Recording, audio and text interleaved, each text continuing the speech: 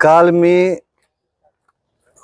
स्वाभिमानी शेतकरी संघटनेचा स्वाभिमानी पक्ष मार्फत काल या ठिकाणी अर्ज भरलेला होता आणि आज मी या ठिकाणी अपक्ष अर्ज भरलेला आहे.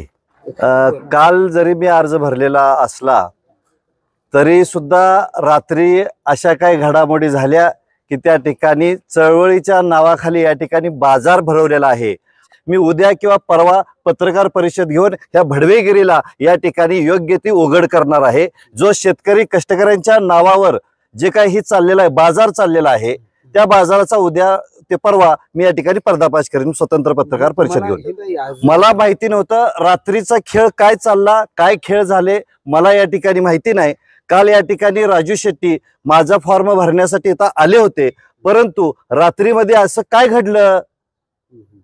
कारण एका बाजूला राजू शेट्टी म्हणतोय की लाट्या काट्या खाणारा आणि जेलमध्ये जाणारा या ठिकाणी कार्यकर्त्याला मी संधी देणार आहे.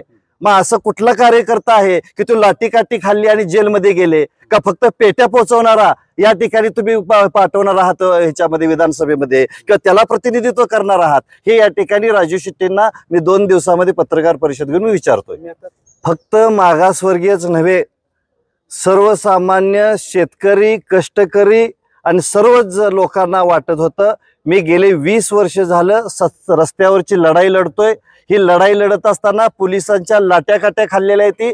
प्रसंगी दहा वेळा जेलमध्ये गेलोय. पंधरा केसेस या ठिकाणी वैभव कांबळेवर आहे ती. अशा परिस्थितीमध्ये सगळ्या आमिषांना लाताडून मी राजू शेट्टी सोबत होतो. प्रत्येक वेळेला राजू शेट्टीच्या लोकसभेच्या वेळेला प्रामाणिकपणे काम केलेलं आहे. पदरच्या भाकऱ्या खाऊन आणि पदरचं तेल खाऊन राजू शेट्टी सोबत या ठिकाणी काम केलेलं होतं.